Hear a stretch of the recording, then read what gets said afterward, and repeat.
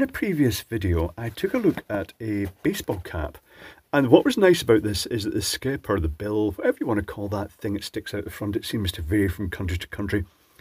But it had a side glow fibre optic sewn onto it. And they'd actually, it's got a fin of plastic that they actually stitch right through it.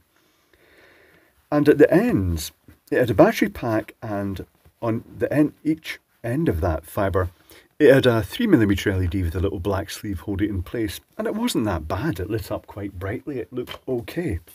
And I went online and I looked for the side glow fibre optic they used, and I found that the keywords were side glow fibre optic with skirt. And the skirt bit is this little strip here. I don't know, it might vary, it was quite hard to find.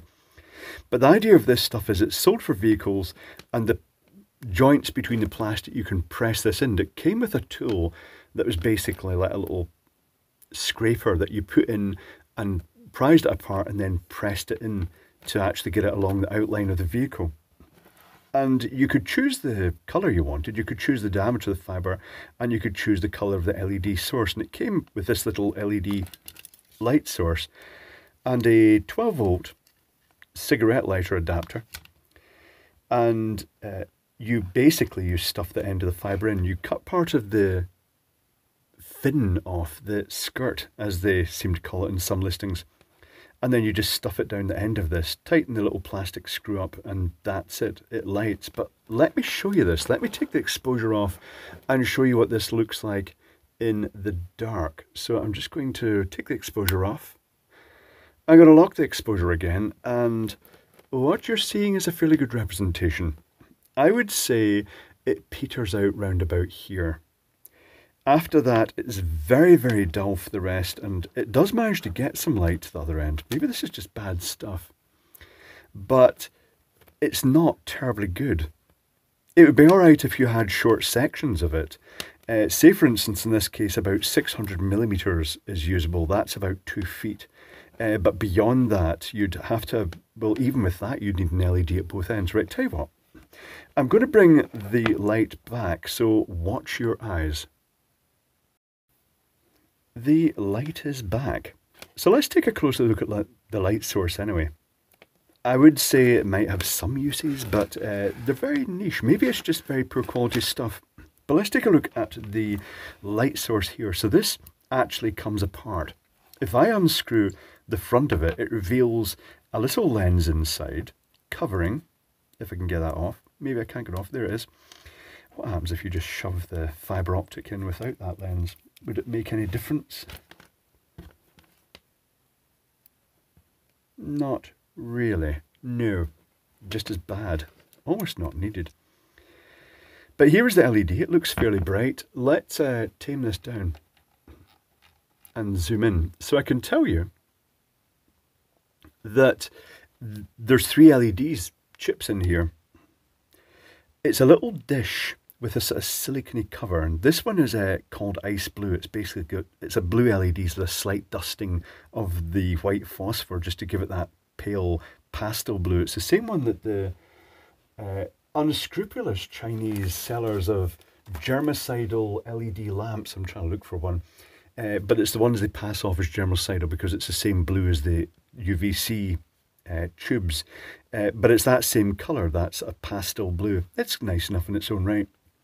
But there's three chips under there, and it starts conducting at round about 7.3 volts. At 12 volts, it's 72 milliamps. At 14 volts, it's 110 milliamps. So I'm guessing that it's just a resistor in here. Can I actually just take this apart? It's got a silicon goo at the back of it, so I reckon I might be able to actually just force this out. It'll never work again, but that's all right. That's assuming I can actually get it out. It's a, that sort of brittle silicon. I think it's well sealed in here. But having said that, I'm not really that bothered about taking this to part unless I can find some fibre to put in it. No, tell you what, uh, I'll just pause momentarily. No, I shall not pause. I shall just start gouging round here and shoving the screwdriver up the end of it to try and get this out. This may just burst it, but you know what? It doesn't really matter. I can always put my own LED up there if I want to use the housing. Uh, do you have anything better for doing this? Maybe not. Right, tell you what, I'm going to pause because this could take a moment. Well, that was schmooed into the hilt. That was uh, very hard to get out. It turns out that there are two resistors uh, soldered into this LED, and then the LED is pressed into the end in a little sort of recess, and then the whole lot was potted in the silicon and it's uh, it really was deeply potted. I think one of the biggest things there was that they'd pressed the LED in with such force that it wasn't coming out. I don't know if they put extra glue around that or it's just the sheer area that uh, it was actually adhered with. But it's out. Um, and it is just basically a little dish. Well, actually, you know what? The uh, the phosphors actually come out almost like a little separate dish, but I'm guessing it's poured in. I don't think this will work anymore. I could try it out. One moment, please. No, I've definitely destroyed it. That's okay. I have no great regrets about that. I didn't like it anyway. Uh, but that, I, I, will be keeping this housing because I quite like the housing. And it can be fitted with, a, uh, with an alternate LED to suit other applications. But uh, that is more or less it. Do I recommend this stuff? Well, I don't know if it's just a particularly bad batch. Maybe there's better stuff out there. But uh, this stuff is rubbish. I mean, if you just wanted a short section, it'd be okay, but it's actually almost dimmer than the electroluminescent stuff, and that's not saying much. I think maybe the future of this stuff would actually be, for many applications, I'd rather use this sort of rectangular 6mm uh, LED neon effect stuff. But you know what? It was worth uh, taking to bits and the light source itself wasn't that bad. I could see this being useful for bundles of fibre optics and things like that. You do get uh, general purpose illuminators with different sized holes, which I think is basically the same thing, but with this hole drilled out to a different diameter. And it would be quite useful for just basically running clusters of fibre optics and things like that. But there we go. That is it. The side glow thing. What uh, else is worth taking apart? This isn't going to be that exciting, is it? It's just basically it is just going to be, does it have a fuse? Sometimes there's a fuse in here, it does have a fuse.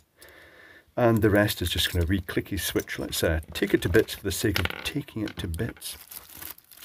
And see what's inside. Just for completeness. It's just going to come apart easily. Yes, oh, it's got a circuit board.